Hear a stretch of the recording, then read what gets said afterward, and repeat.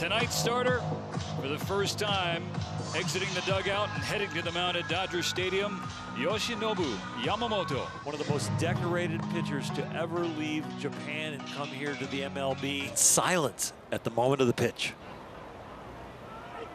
That's three. Three pitches, three strikes, one out for Yoshinobu Yamamoto. Trying to put Paul Goldschmidt away.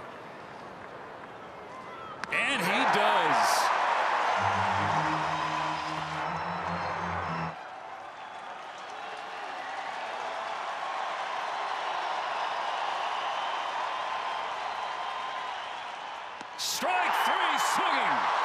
Yoshinobu Yamamoto strikes out the side to begin his Dodger Stadium debut. Puts him away with strike three. Four punch-outs for Yamamoto through two. Ground ball to short. Mookie on the backhand. He's got it cleanly. He's throwing across in time. That comes with commanding the baseball. Despite the rain, ground ball to Muncy at third. He's got it easily.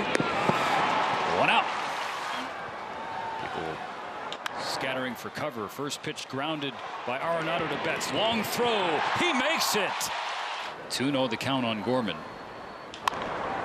Rolls it over to first. Freeman, the underhand to Yamamoto covering. And he's dancing as if something happened, but maybe he's just dancing along the line. Jumped up to grab the ball, and the bag is probably a little slippery. Now the payoff. Called strike three in the outside corner. Tough pitch for a hitter because as it leaves your hand, it looks like it's going to lazily stay outside, but this one has enough bite to catch the corner. 2-0 left center field, tailing to left. Hernandez is right there. ハハハハ!